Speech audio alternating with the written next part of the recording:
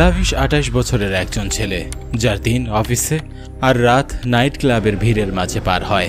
কিন্তু প্রতিটা সকাল তাকে বুঝিয়ে দেয় যে জীবন ঠিক কতটা একা। তার বাবার মৃত্যুর পর তার মাও তার দ্বিতীয় স্বামীর সাথে ইউএসএ স্যাটেল হয়ে গিয়েছে। কিন্তু এমনটা ছিল না যে লাভিশের মা তাকে ভালোবাসতো না, তাই সে তাকে তার সাথে নিয়ে যায়নি। লাভিশকে তার মা আর তার সৎ বাবা দুজনই খুবই ভালোবাসতো, কিন্তু লাভিশই তার সৎ বাবাকে তেমন একটা পছন্দ করত না। যদিও এই সব কিছুর পরেও লাভিশের তার মার নতুন জীবনের উপর কোনো অভিযোগও ছিল না। তার মাকে সুখী দেখেই সে খুশি ছিল। সে আবার তার জীবনটাকে নতুনভাবে উপভোগ করতে শুরু করেছে। কিন্তু লাভিশের নিজের খুশি কোনো এক নিস্তব্ধতায় চাপা পড়ে যাচ্ছিল। দূরে যাওয়া মাও এখন অনেক দূরে চলে গিয়েছিল।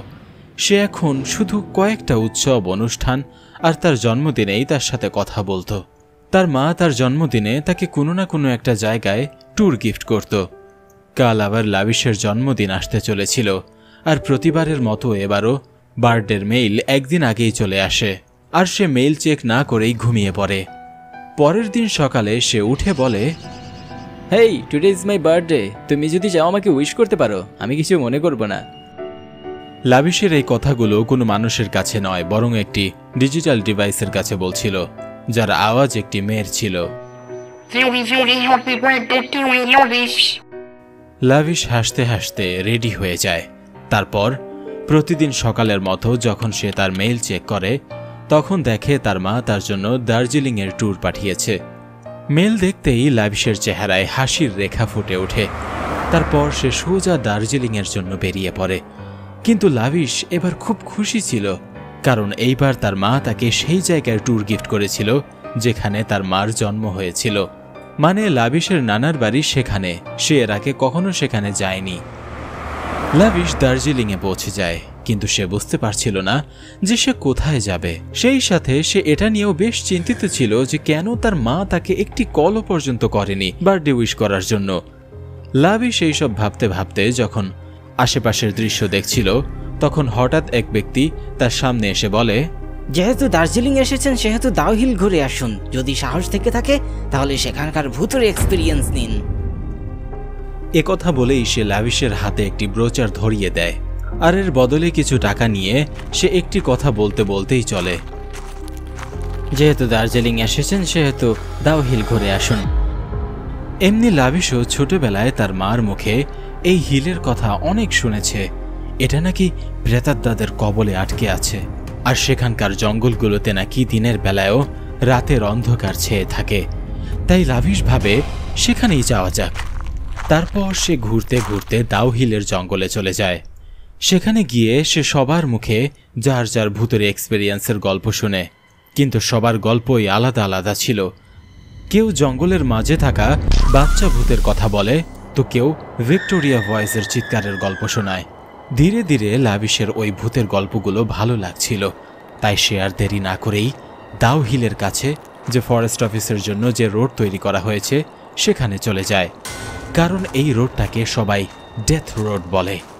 আর এটাই সেই জায়গা যেখান দিয়ে না জানি কত মানুষ বাচ্চাদের ঘুরে বেড়াতে দেখেছে, যারা কিনা দেখতে দেখতে জঙ্গলের মাঝে হারিয়ে যেত। লাভিশও না জানি কি খুঁজতে ডেথ রোডের উপরে ঘুরে বেড়াচ্ছিল। সেখানে দূর দূরান্ত পর্যন্ত নিস্তব্ধতা আর ধুলাবালি উঠছিল এগুলো হাওয়ার গতির সাথে কখনো বেড়ে যাচ্ছিল, তো কখনোই নিস্তব্ধ হয়ে যাচ্ছিল। এরই মাঝে তার মোবাইলে একটি ভয়েস নোটিফিকেশন চলে আসে। যেটা কিনা তার মায়ের ছিল। সে সেটা শোনার আগেই দিনের মধ্যে অন্ধকারের আচ্ছন্ন জঙ্গলের মাঝে দুটি লাল চোখ চমকাতে দেখে। ভগবানই ভালো জানে লাভিশ সেই সময় কি ভাবছিল আর কেনই বা সেই লাল চোখগুলো এদিকে দ্রুত হেঁটে যাচ্ছিল। সে দৌড়াতে দৌড়াতে এতটাই ভিতরে গিয়েছিল যে সে ভুলেই গিয়েছিল বাইরে যাওয়ার রাস্তা সে অনেক আগেই পিছনে ফেলে এসেছে, আর এখন লাভিশ নিজেই সেই জঙ্গলের ভুলভুলাইয়ার মাঝে ফেসে গিয়েছিল। এখন সে নাই বাইরে যাওয়ার রাস্তা খুঁজে পাচ্ছিল, আর নাইবা সেই দুই চোখ যেটার পিছু করে সেই জঙ্গলের মাঝে এসেছে। এখন তার আশেপাশে শুধু ঘন জঙ্গল ছাড়া আর কিছুই ছিল না, আর এমন নিস্তব্ধতা যেখানে তার হার্টবিটও সে শুনতে পাচ্ছিল। তখনই সে একটি কান্নার আওয়াজ শুনতে পায়। লাভিশ নিজের চোখ বন্ধ করে খুব মনোযোগ দিয়ে এই আওয়াজ শুনছিল আর আবার সেই দিকেই এগিয়ে যাচ্ছিল। কিছুটা এগোতেই একটি গাছের পিছনে একটি ছেলেকে সে বসে থাকতে দেখে। সেখান থেকেই কান্নার আওয়াজ ভেসে আসছিল। লাভিশ পেছন থেকে তাকে দেখতে পাচ্ছিল। সে তার মাথা নিচু করে কান্না করছিল। নাই কোনো সে ছোট ছেলে ছিল আর নাইবা সে বয়সের দিক দিয়ে বড়। শরীরের গঠন দেখে মনে হচ্ছিল সে কোনো কিশোর। যে তার যৌবনের মাঝপথে পা দিয়েছে। তাকে কান্না করতে দেখে লাভিশ তার দিকে এক কদম এগিয়ে যায় আর বলে, কে তুমি? আর এভাবে কান্না করছ কেন? লাভিশ এই প্রশ্ন করতেই তার চলন্ত কদম তার কয়েক কদম আগেই থেমে যায়। কিন্তু সেই ছেলেটা কিছুই বলে না। ব্যাস, ফুপিয়ে ফুপিয়ে কান্না করেই যাচ্ছিল। জঙ্গলের মাঝামাঝি তার এই কান্না এখন তার শরীরে কাটার মতো লাগছিল। আর তার ফুপানের শব্দে ভয়ে লাভিসের হাড্ডিগুলো শক্ত হয়ে যাচ্ছিল। তারপর সে একটু সাহস করে তার দিকে এগিয়ে গিয়ে তাকে বলে, কেন তুমি কান্না করছ? লাভিশ জিজ্ঞাসা করায় এবার ফুপিয়ে ফুপিয়ে সেই ব্যক্তি বলে, আমার নাম মানু। আমার বাবা মারা গিয়েছে। আমাকে কেউ ভালোবাসে না। আমি খুব একা হয়ে গিয়েছি। সেই ছেলেটির কথা শুনে লাভিশ সেখানেই হাঁটু কেড়ে বসে বলে বন্ধু আমারও বাবা নেই। জীবনের আরেক নামই হচ্ছে বেঁচে থাকা তাই বেঁচে থাকতে হবে। কেন কান্না করে সেই সময়টাকে নষ্ট করছ? আচ্ছা এবার আমার দিকে তাকাও। লাভিশের এ কথা শুনে সে বলে না আমি দেখব না। আমি দেখলে তুমিও আমাকে ছেড়ে চলে যাবে। তার এই কথা শুনে লাভিশ তাকে বিশ্বাস করিয়ে বলে বন্ধু তোমার আর আমার গল্প ঠিক একই রকম। দেখো না আজ আমার জন্মদিন কিন্তু তবু আমি আজ জঙ্গলে একা ঘুরে বেড়াচ্ছি আর তুমিও একা। তাহলে আমি কেন তোমাকে ছেড়ে যাব বলো? সত্যি বলছো তুমি যাবে না তো? আরে হ্যাঁ হ্যাঁ আমি যাব না কিন্তু আগে তুমি কান্না বন্ধ করো। আর আমার দিকে তাকাও। লাভিশের কথা বলতেই সেই ছেলেটা কান্না বন্ধ করে দেয় আর হাঁটু থেকে তার কাজ ছড়িয়ে সোজা লাভিশের দিকে ঘুরে তাকায়। এক মুহূর্তের মধ্যেই সে লাভিশকে ভেতর থেকে কাঁপিয়ে দেয়। তার সামনে বেশ ভয়ানক একটি দৃশ্য সে দেখতে পাচ্ছিল।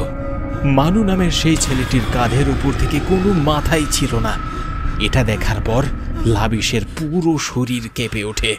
আর সে কাঁপতে কাঁপতে সেখানেই পড়ে যায়। তার চোখগুলো খোলা ছিল।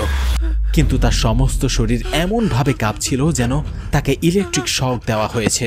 তখন মানু তার দিকে এগিয়ে যায় আর তার মাথায় একটি হাত রাখে। তারপর লাবিশ আলাদা একটা পৃথিবীতে চলে যায়। আজ থেকে প্রায় তিরিশ বছর আগে একটি ফরেস্ট অফিসারের বাড়িতে সেখানে সে সবাইকে দেখতে পাচ্ছিল, কিন্তু তাকে কেউই দেখতে পাচ্ছিল না। তার মনে হচ্ছিল তার প্রাণ চলে গিয়েছে, আর সে একটি আত্মা। তাই হয়তো কেউ তাকে দেখতে পাচ্ছে না। তখনই সে একটি ছেলেকে দেখতে পায়, যে গাড়ি পরিষ্কার করছিল, যাকে হুবহু মানুর মতো দেখা যাচ্ছিল। পার্থক্য শুধু এইটুকুই ছিল যে এখানে শরীরের সাথে মাথাও আছে। তখনই সেখানে একটি মেয়ে আসে, আর মানুর হাত ধরে টেনে তাকে বাড়ির পিছনে নিয়ে যায়। সে মেয়েটি মানুর থেকে বয়সে বেশ বড় ছিল।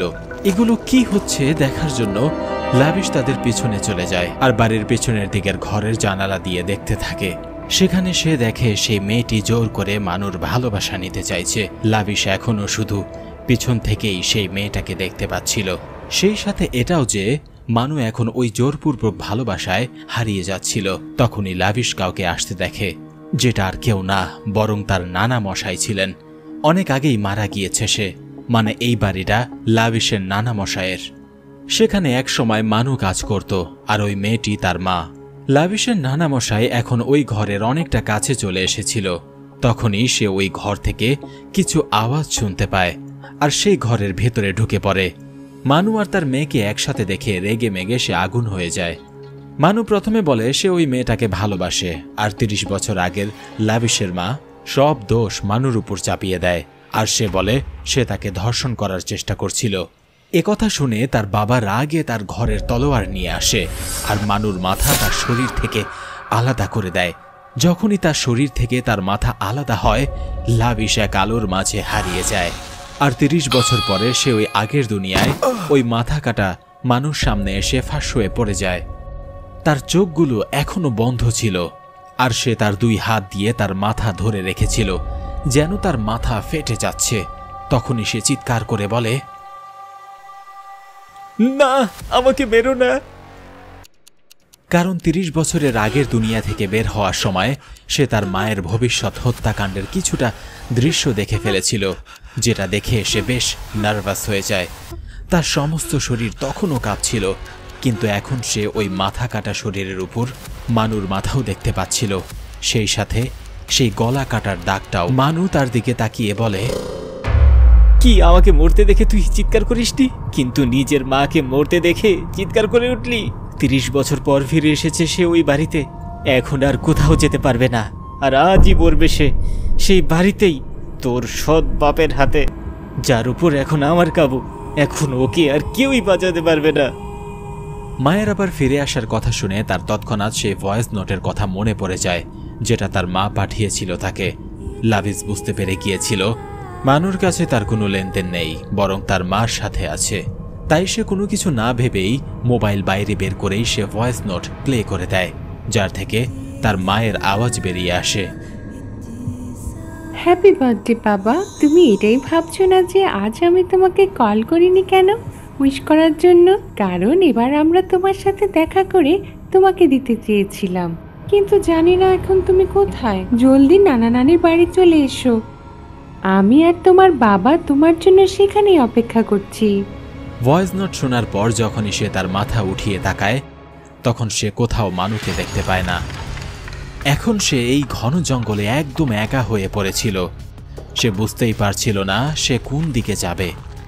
তারপর সে কোনো কিছু না ভেবেই সে একদিকে দৌড়াতে থাকে, আর সৌভাগ্যবশত সে রোডও পেয়ে যায়, যেখান থেকে সে সোজা নানা বাড়ি চলে যায়। লাভিশ তার নানা বাড়ি যেতেই দেখে, সেই বাড়ির পিছনে তার মা সেই দিকেই কেক নিয়ে যাচ্ছে, আর তার পিছনে তার সৎ বাবা।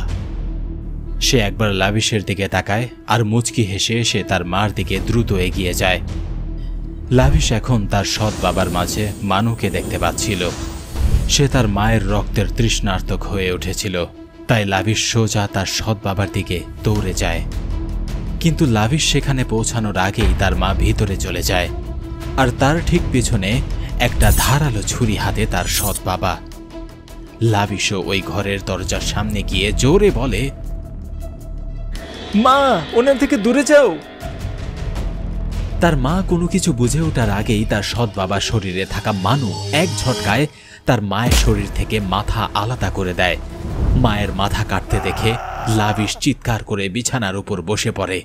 আর জোরে জোরে শ্বাস নেয়। তখনই তার ডিজিটাল ডিভাইস থেকে একটি আওয়াজ ভেসে আসে। মনে হচ্ছে তুমি কোনো খারাপ স্বপ্ন দেখেছ। Takes R water and relax you you happy birthday to you, Marius. ডিভাইসের কথা শুনে লাভিশ কাপা কাপা কণ্ঠে বলে চুপ থাকো তুমি। কারণ এতক্ষণ তার সামনে যে ভয়ানক দৃশ্যটা ছিল সেটা তার স্বপ্নের মাঝে ঘটেছিল। এতে সে বেশ চিন্তিত হয়ে পড়ে, কিন্তু সে তার স্বস্তির নিঃশ্বাসও নেয়।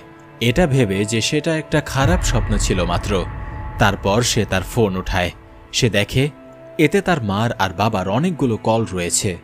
তারপর যখন সে তার ল্যাপটপে তার মেইল চেক করে, তখন তার হুশ উড়ে যায়। কারণ এই ট্রিপটা আর কোথাও নয়, বরং দার্জিলিংয়ের দাউহিলেরই ছিল। লাভিশ বুঝতে পারছিল না যে এখন সে কি করবে। তাই সে তার মাকে কল করে। কিন্তু সে লাইন পাচ্ছিল না। তখনই সে তার ফোনে তার মায়ের একটি ভয়েস নোট পায়।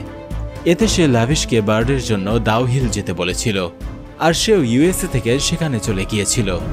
এইসব দেখে লাভিশ ডান বাম না দেখে সোজা ফ্লাইট ধরে তার নানা মশায়ের বাড়ি দার্জিলিংয়ের দাউহিলে পৌঁছে যায়।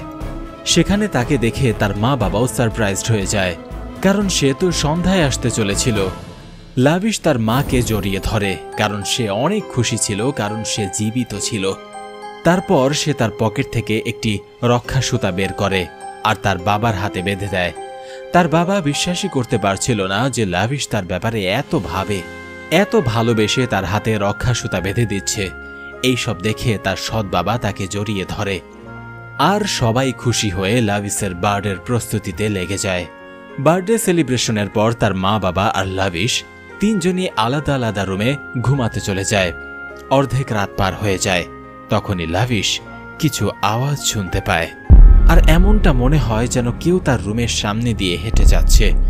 এটা দেখার জন্যই লাভিস আস্তে আস্তে তার রুম থেকে বের হয় আর কিচেন থেকে একটি ধারালো চাকু নিয়ে সোজা তার মায়ের রুমের দিকে যায়। সেখানে যাওয়ার পর সে দেখে তারা দুজন নিশ্চিন্তে ঘুমাচ্ছে। লাভিশ আস্তে আস্তে করে তার মায়ের কাছে গিয়ে বসে আর ভালোবাসায় ভরা চোখে তার মাকে দেখতে থাকে। তখনই হঠাৎ তার চেহারার রং বদলে যায় আর সে বলে ওঠে, উঠো শোনায় না আরে দেখো না, তোমার মানু চলে এসেছে। নিজের নাম শুনে লাবিশের মা যখনই চোখ খুলে, তখন তার চোখ কপালে উঠে যায়, কারণ তার সামনে মানু ছিল। সে চিৎকার চেঁচামেচি করার আগেই লাভিশ তার ধারালো চাকু তার মায়ের গলায় ঢুকিয়ে দেয় আর এক মুহূর্তের মধ্যেই লাভিশের মাকে মৃত্যুর কোলে ঢেলে দেয়। যখন লাভিশের জ্ঞান ফিরে, ততক্ষণে অনেক দেরি হয়ে গিয়েছিল। নিজের মায়ের রক্তাক্ত লাশ আর সেই রক্তে ভেজা তার হাত আর সৎ বাবার চোখে তার জন্য ঘৃণা। লাভিশ এখন সব কিছু বুঝতে পেরে গিয়েছিল। লাভিশ তার মাকে বাঁচানোর অনেক চেষ্টা করে। কিন্তু সে কি আর জানতো মানু তার প্রতিশোধ নেওয়ার জন্য তাকেই ব্যবহার করবে? তখন থেকে নিয়ে আজ অব্দি লাভিশ কারোর সাথে একটি কথাও বলেনি।